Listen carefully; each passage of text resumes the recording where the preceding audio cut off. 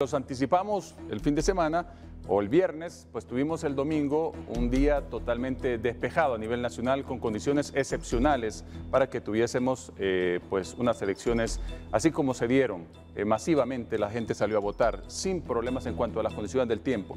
Pero estamos viendo en este video justamente que los fenómenos extremos continúan reportándose en diferentes partes del mundo y ahora pues le ha tocado a Brasil.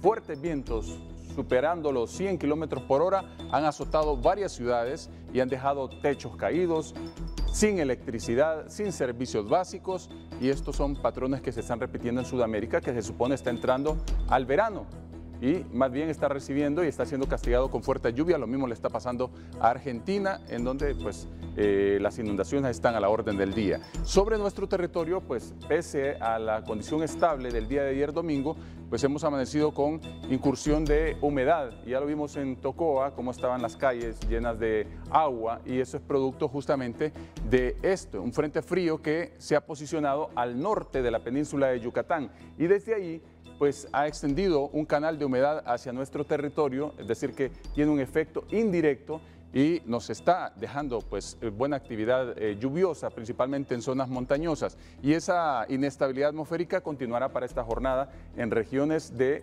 Colón, gracias a Dios, algunos puntos de Atlántida y también las islas de la Bahía, sin descartar algunos chubascos ligeros en zonas del área central y oriental.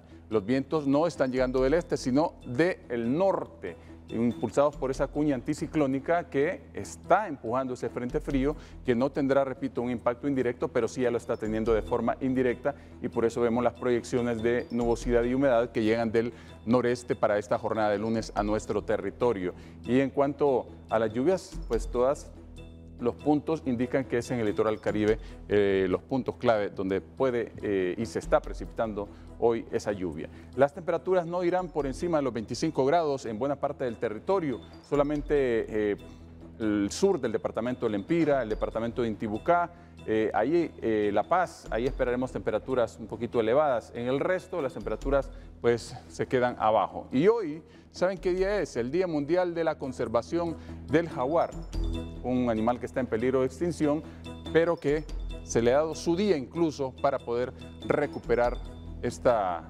fauna silvestre que es necesaria tenerla porque juega su papel en todo nuestro ecosistema. Cuídense mucho, siempre le queremos como televidentes y no como noticia. Que la pasen bien. El estado del tiempo fue presentado por la Curazao